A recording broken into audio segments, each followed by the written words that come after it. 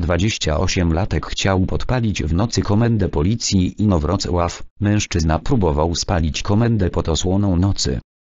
W nocy ze środy na czwartek na komendę policji w Inowrocławiu wtargnął 28-latek, który rozlał niezidentyfikowaną ciecz i ją podpalił. Sprawca, znany mundurowym ze względu na wcześniejsze sprawy kryminalne, został obezwładniony i zatrzymany. Nikt nie odniósł żadnych obrażeń. 28-latek wtargnął do holu komendy powiatowej policji w Inowrocławiu po dwa w nocy. Uszkodził drzwi wejściowe, a później podszedł pod okno dyżurnego i polał jakąś cieczą krzesło oraz ściany. Chwilę później postanowił to podpalić, powiedziała aspirant sztabowy. Izabella Drobniecka, oficer prasowa KPP w Inowrocławiu. W wyniku podpalenia ogniem zajęły się krzesła, ściana oraz okno dyżurnego.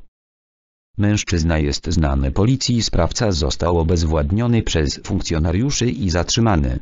To znany policji mężczyzna. Był wcześniej zatrzymywany w sprawach kryminalnych, dodała rzeczniczka prasowa. Ogień udało się dość szybko ugasić. Nikomu nic się nie stało. Gromadzimy materiał dowodowy w tej sprawie. Trudno w tej chwili wskazać, jaki był motyw sprawcy. Najprawdopodobniej śledztwo będzie zmierzało w kierunku przedstawienia zarzutu stworzenia zagrożenia spowodowania pożaru. W tej chwili nie można jednak tego jeszcze przesądzić, dodała aspirant sztabowy. Drobniecka